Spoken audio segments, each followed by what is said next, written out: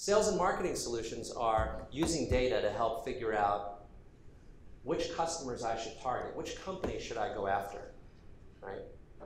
Who are my best prospects? Which look like the most profitable companies I should be targeting? So that underlying data, so if you think about this, we have all this data about businesses, and historically that data was used to figure out if that company was viable, if it was paying its bills. It was used in the context of extending credit.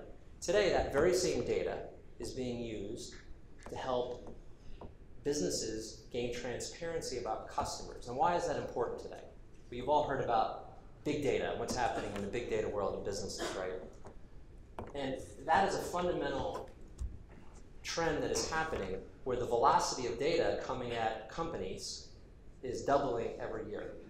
And they're struggling with how to organize this data so that they can speak to their customers in a clear and transparent way. And it starts with understanding these businesses. And we have some customers that have a hundred different instances of the same customer because they're dealing with them in so many digital ways. They have digital marketing, they have you know, their CRM applications, they have a variety. I think the average marketer now has over 100 different applications that they're using in the marketing stack.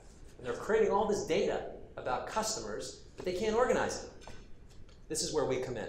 We help them to organize the data, and then we've developed a whole slew of analytics that sit on top of the data to help interpret that data and figure out the best customers to target.